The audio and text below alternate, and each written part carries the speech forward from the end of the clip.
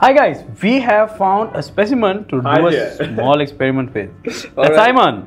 You know the man. All right, so this is how it's going to work. Right. I am going to, um, we are going to take turns to pick stuff from this. Cool. Basically, at every pick, you can take anything less than four. So that means one, two, or three. One, two, or three. Yeah. Can't go beyond three. Can't go beyond three. All right. The goal is that uh, you, well, that when my turn comes to pick, Hmm. if this is the only thing that remains, I have to shave.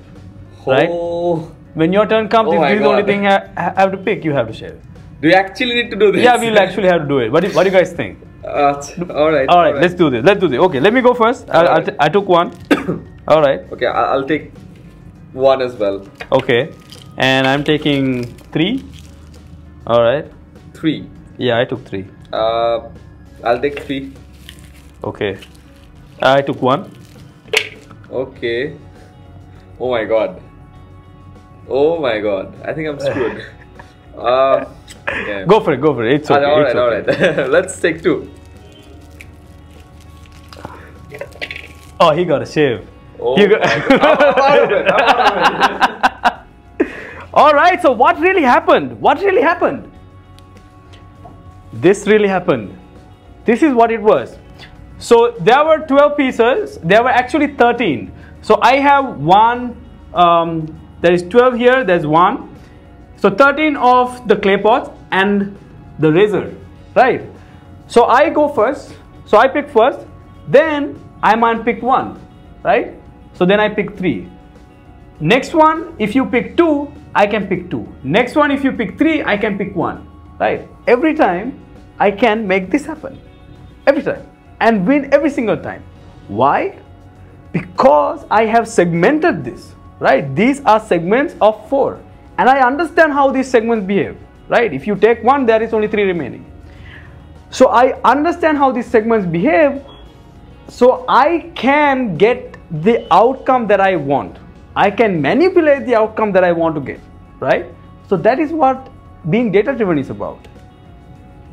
That is what it is to get insights. You know, that is it's that simple. How do you do it? You segment them. First you segment them, right? Then you have an objective. Okay, what there is a key thing that you need to get done. Improve this improve revenue or improve ctr or whatever. There is a thing that you want to get done. So you segment them and find profitable segments and unprofitable segments. And then in that you find what has happened that you want to happen. Get it?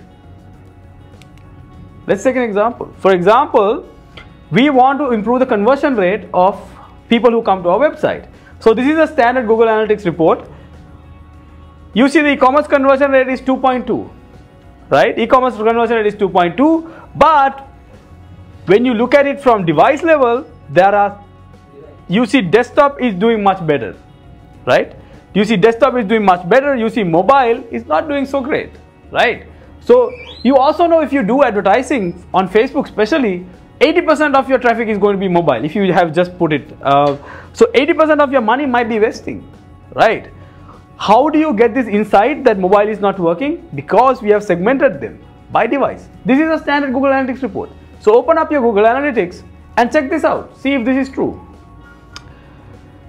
So you see there are there are only two segments that you can make for any business a profitable segment and unprofitable segment right? For profitable segment what do you do you can dedicate more campaigns expand you can replicate right? Unprofitable segments what you can do is you can test the variation or segment more. You need to segment more first. Go inside mobile and see what are the mobile devices that are performing less or performing higher right? Look at what are the mobile devices for example apple might be converting better right? A samsung might be converting better. So check that out. If a device is performing very low maybe your website is not optimized for that. That's something you need to fix. That's an insight. That's it. That's about it